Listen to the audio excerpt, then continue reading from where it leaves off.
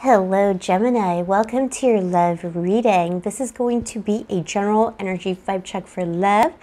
Uh, please uh, bear in mind that these are general readings, so uh, not everything will resonate 100%. There might be specific keywords or phrases throughout the reading that are meant for you, boo boo. Also, check your other placements for a complete picture of your situation in love. Uh, also, Gemini, um, I am asking you today specifically if you vibe with the video, if you get any value from the video, and if you want to support me and uh, push the video out for other Geminis uh, to hear this message, don't forget to like the video and comment below. Uh, every like really helps me. Uh, I want to get 100 likes today, Boo Boo, okay? This is the mission. So if you vibe with the video, if you vibe with the energy, you can do that one thing for me. Uh, also, Gemini, um, this is for Gemini Sun, Moon, Rising, and Venus or if you have a lot of Gemini in your chart. Let's get into your reading now. Uh, we're going to start with uh, a message from uh, your guides. Uh, we're uh, doing this video a couple of days after the full moon, but the full moon energy is still upon us, and uh, I'm feeling that energy very strongly, so I'm just kind of honing this in for you. Grace and gratitude. Through gratitude, joy expands. What a beautiful message. Grace and gratitude, Boo Boo. This is about manifesting too. Uh, this is about manifesting. This is about being in uh, in sync uh, with the rhythm uh, of the moon, the sun, the stars. This is about allowing things to grow. Look at her. She has this beautiful magical dust in her hand. She is manifesting beautiful things with love and gratitude. Uh, this is about being gentle. This is about uh, winning things uh, through being sweet, you know, attracting those flies with honey, boo boo. Whatever you're doing, you know, if you're manifesting things, if you're, uh, especially if you're coming into your feminine power, regardless of your gender, it doesn't matter. But if you're, you know, kind of feeling that uh, uh, yin energy in you uh, specifically, that is something to hone in on for sure. Uh, look at this beautiful pink tree here as well. We just had the pink moon. I do feel like this is all about that moon goddess energy. There is goddess in this card, Bibu. So uh, take it as it resonates. Uh, I'm just going to do your spread now. Uh, in terms of love, I feel like um, I don't know if you're attracting love or manifesting. You're manifesting something, boo boo, aren't you, Gemini? Uh, babe, I love you. I'm Scorpio. Uh, Geminis and Scorpios were very much misunderstood by the others in the zodiac. People just do not get us. Scorpio is like you, you know. We have we understand the duality of the light and the dark. Scorpio is extremes, though. You know, we're like the highest of highs and the lowest of lows. Ooh, interesting. Wow. Okay you moved on from something in the past. You got the chariot here. This is the energy that uh, led you to your current situation in love, Boo You moved on from something. It was quite a quite a hard energy here, quite aggressive. Uh, maybe you were trying to. I don't want to force something because Gemini doesn't have to force anything, Boo But I feel like you were kind of trying to force maybe yourself uh, to make a situation work. You, you were uh, working against yourself a little bit here. There's definitely Gemini energy in the chariot too. Yeah, look, uh, the Queen of Cups, love. This is definitely to do with love. I feel like you were in a something in the past was either a connection, could have been a stable connection, could have been a bimbo, himbo from Tinder, anyone in between. There's someone in your life who just wasn't giving you the kind of love that you deserve.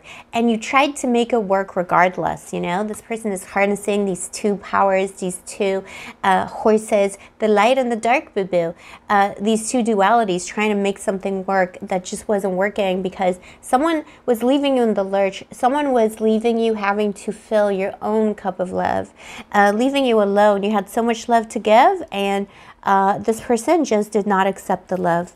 Um, and uh, you either you moved away or your person distanced your, uh, themselves from the situation, left you in the lurch, whatever the situation was.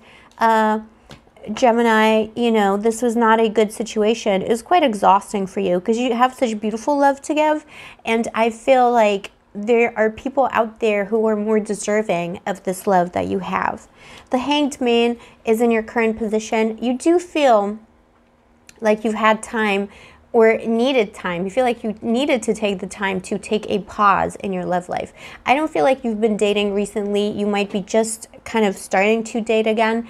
I feel like you've been taking a break. Uh, feel like whatever connection was in the past that was so like push and pull, these two dualities, could, you could have been dating someone who was very different to you. Uh, but in any case, it was very exhausting. Uh, maybe you were also dealing with someone who was quite violent, uh, in which case, definitely don't reconnect with that kind of energy. But uh, yeah, I'm, I'm just seeing a lot of brutality. Maybe we're dealing with someone who was quite cold hearted too, quite brutal, uh, didn't have a lot of compassion. Um, so it felt like a bit of a punishment punishment. Maybe you're asking yourself, you know, why is my dating life so difficult? Why can't I find the right person? Why are the people that I connect to, you know, maybe they're maybe you have a tendency to attract quite prudish people or quite insensitive people. Uh, grace and gratitude. You have a lot of grace to you, uh, a lot of this beautiful goddess energy around you, a lot of uh, mystical uh, energy, a lot of, you attract a lot of people. And I feel like because you have this beautiful uh, I almost want to say dainty energy to you and graceful energy, you might attract a lot of kind of cold-hearted, brutish people because you attract your opposite people. Uh, but the gratitude here is like, you know, grace and gratitude. So gratitude is underlined. This is something that I also relate to, uh, babe. Um, you know, we uh, be grateful, even though you have attracted these maybe brutal beast type people in the past. Um, doesn't have to be physically, it, can be metaphorical, but, uh, you know, be still grateful for the fact that you are the beautiful uh, creature, the beautiful mystical uh, phenomenon that you are, because I feel like you attract a lot of people and you're very attractive. You're just like, you're, you're very attractive to people, Boo. Uh, so yeah, so you're just like you hung your own self up on the shelf, thinking, I don't know, I, I need I need to like rethink this whole love thing um, But you got the Two of Wands here now uh, for what's crossing you. So you're ready. You're ready to put yourself out there again. You're ready to go on another journey in love. Uh, I feel like some of you have taken some counsel in the recent past, or it might be something you're doing currently. Some of you, you're either getting spiritual advice from a spiritual uh, counselor, or you're getting advice from friends or family, someone who is considered wise in your circle, or you're just getting some kind of, you know, therapy I'm a big proponent of therapy. My other background is in psychology. I think therapy is the best, and I think everyone should have therapy. It doesn't matter if you have a problem or not. Like everyone, we all have a problem because we're all alive and life is hard. So, um, if that's what you're doing, good for you. You might also be connecting, you know, just connecting more to yourself and your own needs, your own unconscious boo. Uh, I feel like your wishes are about to come true, though. Look, the star. This is coming in in the near future. Uh, your wishes in love are about to come true, boo. What are you wishing for? What are you manifesting? Look at these. Oh my gosh, so beautiful. The card we started with and this star card, it's like they're both holding this beautiful dust, you know? Uh, they're both surrounded by miraculous things these two figures here. I feel like there is great hope for you in love. You're about to unlock something in your life that you're not expecting, some kind of beautiful uh, surprise in love, too. Your dreams are about to come true. Healing is about to begin as well. Things are really going to improve. And you got the tower here as what you're not expecting, boo boo. You're about to fall in love and you're about to fall deep and hard. And whoever there was in the past who, uh, you know, made you feel not so good, this brutal energy in your past, this is going to be like you're going to you're going to fall so hard. This is obviously a metaphor, but I feel like the tower is coming up to say whoever you're about to meet is going to be the person that you want. This is your soulmate and you're going to fall so hard for for this new person. It's like you're going to hit your head and forget about the past completely. Whoever this is that was bothering you in the past is just going to get canceled. They're going to get deleted from your memory completely. You got the Ten of Cups at the bottom of the deck, Bibu. Great happiness coming towards you. It is a soulmate. Let me clarify and see what kind of person you might be expecting for some of you. Uh, bear in mind it's a general reading, so, you know, take these messages as they resonate. Um, Gemini. I don't know why I wanted to call you Cancer. Maybe it is a Cancer person. Yeah, it's look, it's someone someone who is very much in touch with their feelings. The King of Cups. Maybe that's why I said Cancer because the King of Cups is Cancer in my readings anyway. Uh, the King of Cups is Cancer. Uh, the, my God. If it's not a cancer, it's someone who is very much in touch with their emotions, very vulnerable. See, it's not someone like this chariot person who was brutish, who made you feel like you were struggling, uh, who could have been an angry person. This is someone who's very loving, has a lot of love to give. And look, it's the divine counterpart to the Queen of Cups that we started with. That was you in your previous connection. You had so much love to give, no one to receive. Well, guess who's here? The one who also has so much love to give and also knows how to receive it, boo boo. Divine counterparts, soulmates, 100%. And just like you, this person has um, had experiences in the past where uh, they've been through pain. They understand pain. They've been through stuff, you know? Uh, this person has done the spiritual journey, the journey of the emotions, um, maybe also someone who uh, has had some kind of a spiritual awakening or uh, understands that you know uh, they need uh, some kind of guidance or uh, counseling in terms of their spiritual path or just like you know their life. Um, someone who's very in touch with things and also someone who has stickability so this isn't someone who will abandon you when times get tough. This is someone who will journey on this boat with you uh, through thick and thin. This is a family moving on to a better place. Uh, this is the card of immigration. This is when times are tough um, and the boat is sinking, you, you plug that boat with a bunch of swords in a time of need and you do it together. So, you know, this is a family moving forward together. This is not someone uh, who is by themselves and abandons a family when the times are tough. Let me just clarify the outcome for you here.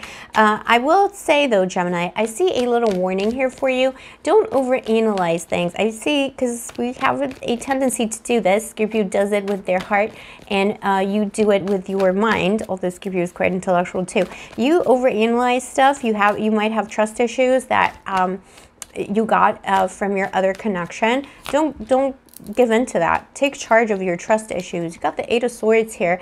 Uh, be careful uh, that you don't doubt uh, whatever is coming in that's new. There's a beautiful new connection coming in. Don't doubt it too much uh, and put yourself out there. Um, there's a possibility you might not meet this new person, and that will happen if you don't put yourself out there. If you remain in this prison of the mind, if you give in to your demons, allow the, the light to, to shine on you. Put yourself out there into the light, into the public, you know.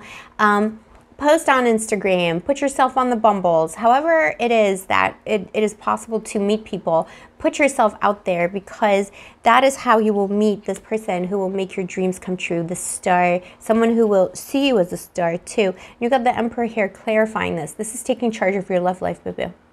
This is believing in success too. The emperor takes what is his. Hers, anyone in between, gender is arbitrary, but you know what I mean. Uh, the emperor takes because the emperor knows that um, what belongs to him will not pass him by, but he needs to make the effort. He needs to take the action. So uh, if you're tempted to not put yourself out there this season is probably uh, the wrong thing to do. You need to be putting yourself out there, Bill. Let's get some advice here from the Greek Oracle for you as well. Ooh. And we get another one. Okay. So it's interesting. It's interesting. I think Scorpio got the same card. Um, you got Epimetheus here. Uh, it's carelessness in this deck. Epimetheus is the brother of Prometheus in Greek mythology. He's the dumb brother because Prometheus is, you know, the the smart demigod who stole uh, light from from the gods. He stole stole fire from the gods, and uh, that's his dumb brother, okay, who got uh, the entire world into a lot of trouble when he allowed his wife Pandora to open a box full of curses. Um, so I feel like this is saying again. Um, very similar to the Scorpio read. Maybe there's some kind of connection with Scorpio for you because there's a lot of water energy here. This is the Scorpio card. You came up in the Scorpio energy. If you have Scorpio in your chart, definitely check out the Scorpio reading, boo um, but this card is telling me to not be careless with your future and your life and your heart. So don't don't throw love away because you've been hurt in the past you know? Don't reject new people because someone someone from the past gave you trust issues. Don't throw the baby out with the bathwater. Don't be careless with your own life uh, there's beauty coming in. There, there's a lot you're going to be grateful for. You're, you're manifesting. You have the power to manifest don't be, you know, don't be silly about it. Accept it. Accept your power to manifest. Um, and again, I, I see almost generational curses here. You've got Creusa, secrets. Um, there's several myths regarding her, uh, regarding this name uh, in uh, in Greek mythology. But um, I'm just going to take I'm going to take the myth of uh, Troy. Uh, she was left behind. She wasn't left behind, but she was walking behind her husband uh, during the siege of Troy. And by the time he looked behind uh, to make sure she was still with him, she had been killed. Um, she had been killed and all he could see was her ghost. So I feel like this is a metaphor from any ghosts from the past. This is, you know, mother, father energy. Uh, are there ghosts from your formative years or maybe, you know, energy, uh, karmic energy around you that um, is affecting your love life right now? This is something to consider. It doesn't mean it, it, it is, but it's just something to consider. And, you know, this is family secret. So are there any ghosts in your life uh, that you should work through psychically speaking, you know, in your own mind, in your own heart. Uh, it could be uh, you know, stuff from the past where people have hurt us in the past and it's still kind of reverberating in our current uh, moment in terms of love. Let go of those old, old hurts. I'm not saying forgive and forget if someone was horrible to you. I'm not saying let it go. I'm actually not a proponent of this kind of thing. I'm not, I don't think that forgiving is necessary for healing. Um, don't let it go if you don't want to, but be aware of how it's affecting your love life currently and don't let other people's bad behavior and mistreatment of you to uh, allow you to sabotage a good thing right now. Give people a chance. It's a blank slate. Take people at face value. Um, new people at face value. Don't let these people from the past steal who stole uh, your precious time and your emotions, like this person who was quite brutal to you in the past, don't let that person steal your bliss right now uh, by giving you trust issues or by making you defensive. Be open, be beautiful, be grateful, and manifest a beautiful new love, and all will be well. Um, don't look back. There's just when you look back, it's there's only a ghost there, boo boo. That's all there is. Um, Babe, I hope this resonated for you. Let me know in the comments below uh, if uh, this is your story. I'm always curious to hear your stories too, Bibu. If you would like to get a private reading with me, information about this is in the description box below, Gemini. Um, take care of yourself. I will see you next time, and may the angels protect you.